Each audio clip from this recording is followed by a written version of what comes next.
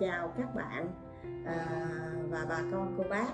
Thì hôm nay mình lại à, gặp nhau ở cái chương trình chia sẻ giữa à, bệnh nhân và bác sĩ. Thì hôm nay tôi là bác sĩ Thụy ở khoa nội thần kinh của bệnh viện Nguyễn Tri Phương. À, chúng ta sẽ chia sẻ về cái vấn đề chóng mặt hay là rối loạn tiền đình mà à, cái tỷ lệ càng ngày càng tăng cao ở nhất là cái tỷ lệ bệnh nhân trẻ hiện nay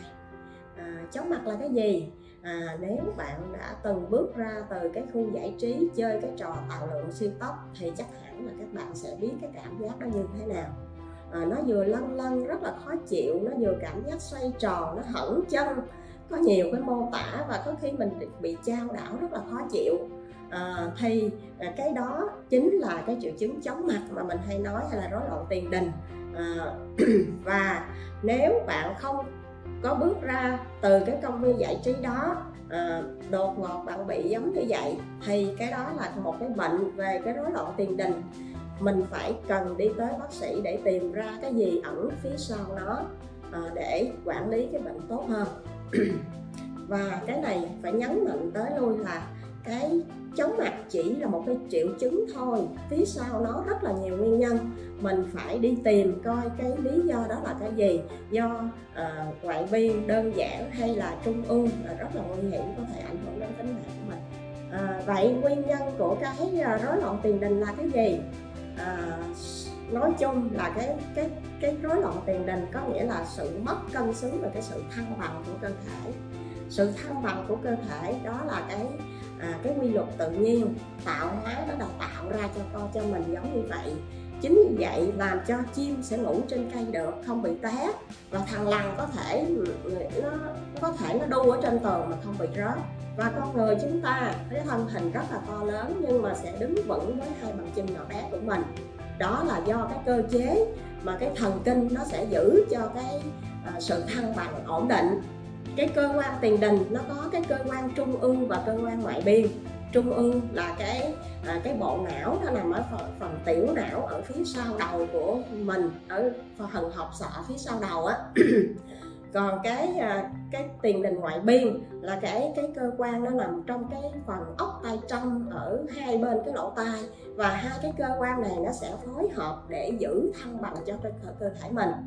à, khi mà mình bị rối loạn một trong hai cái này có thể là ở vùng ngoại biên cái cái cơ quan tiền đình ngoại biên hay mình gọi là rối loạn tiền đình ngoại biên đó hoặc là cái vùng trung ương là tổn thương cái vùng tiểu não thì mình đều sẽ ảnh hưởng tới cái này và dĩ nhiên nó có một cái sự khác biệt nào đó và à, mình phải khi mà mình bị chóng mặt thì bác sĩ sẽ tìm ra những cái vấn đề đó bởi vì sự điều trị và chẩn đoán và điều trị và cái tiên lượng hoàn toàn khác nhau đối với tất cả những cái dạng mà cái rối loạn tiền đình này.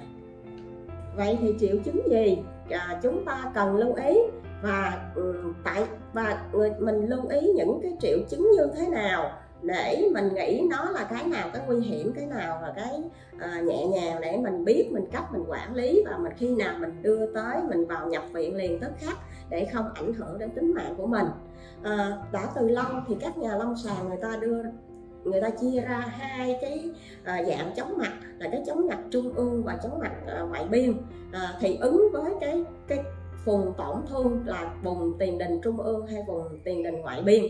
à, chóng mặt ngoài biên thì cái này là phổ biến nhất nó chiếm khoảng 90 phần trăm cái à, cái dạng bệnh bệnh lý trong cái nhóm này. Ừ, à, thường đa phần bệnh nhân sẽ có cảm giác à, rất là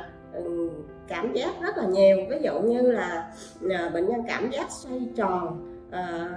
nôn ói đó là những cái triệu chứng mà có đi kèm những cái triệu chứng về uh, thần kinh thực vật đi kèm như là nôn buồn nôn uh, tim đập nhanh tay chân lạnh uh, và như vậy thì cái đó là cái cái cái dạng của cái uh, xu hướng xu hướng là của cái uh, cái rối loạn tiền đình ngoại biên. Còn về cái tiền đình trung ương là thông thường uh, có thể nó sẽ đi kèm với những cái đau đầu nè có thể đau đầu dữ dội à, có khi bệnh nhân bị à, nói đớ cái giọng nói nhọng đi. À, có khi bệnh nhân bị à, méo miệng à, nhìn mờ à, hoặc là à, cái cái rung giật nhãn cầu. Khi mình nhìn vào mắt của bệnh nhân á, thì có thể nó rung rung rung.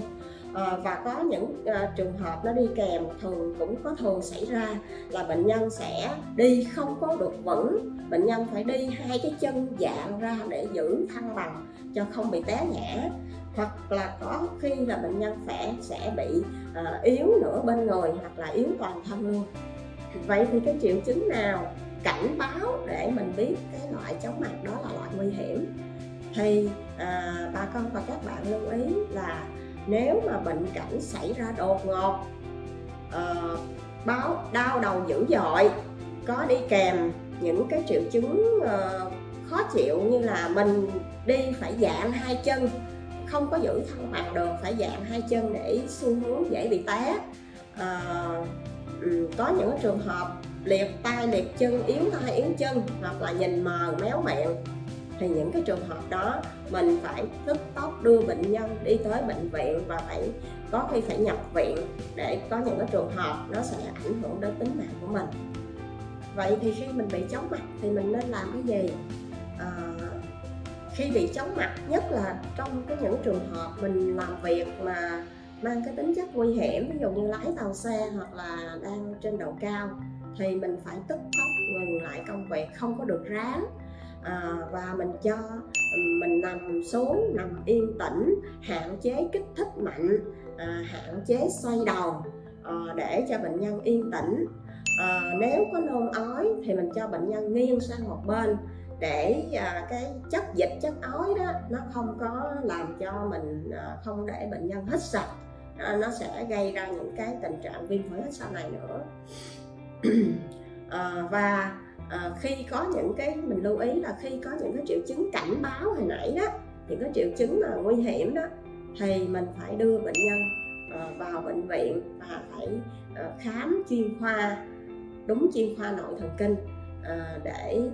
có cái hướng xử lý kịp thời phải nhanh chóng. Tại vì có những cái trường hợp là cái uh, tai biến mạch máu não cái vùng tuần hoàn sau đó nó sẽ diễn tiến rất là nhanh chóng đưa bệnh nhân tới hôn mê và có thể tử vong. Còn những cái triệu chứng mà cái tiền bệnh đình ngoại biên là nó có thể xuất hiện uh, ngắn rồi sau đó nó tự hết. Và ẩn phía sau có khi mình phải tìm ra những cái nguyên nhân ví dụ như mất ngủ kéo dài có thể nó tiết ra những cái chất chống stress mà làm tổn thương cái dây thần kinh tiền đình. Thì như vậy mình phải à, khám điều độ và phải chỉnh lối sống phải tuân theo bác sĩ khám định kỳ cho nó điều độ để à, giải quyết được cái nguyên nhân gốc rễ. Bởi vì ngoài cái triệu chứng rối loạn tiền đình nó thì nó còn thêm những cái triệu chứng khác ví dụ như giảm trí nhớ dần dần và có thể sau này nó sẽ gây ra các bệnh trầm cảm rất khó chịu.